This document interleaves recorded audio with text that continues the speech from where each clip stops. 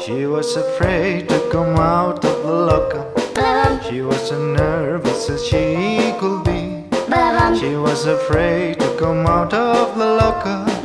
She was afraid that somebody will see. Two, three, four. Tell the people what you wore. It was a itsy bitsy teeny weeny yellow polka dot bikini that she wore for the first time today. Polka dot bikini. So in her locker she wanted to stay. Two, three, four. Stick around, we'll tell you more.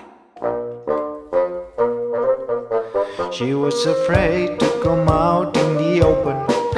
So a blanket around her she wore.